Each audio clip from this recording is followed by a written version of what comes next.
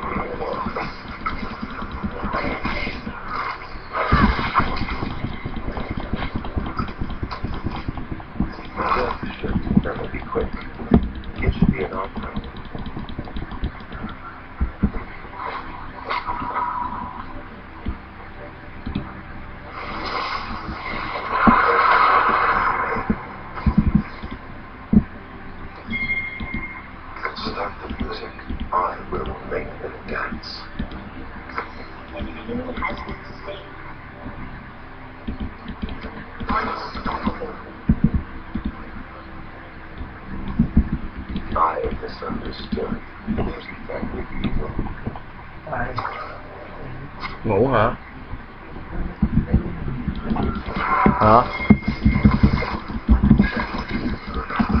Ủa gì mày ngủ thiệt á hả?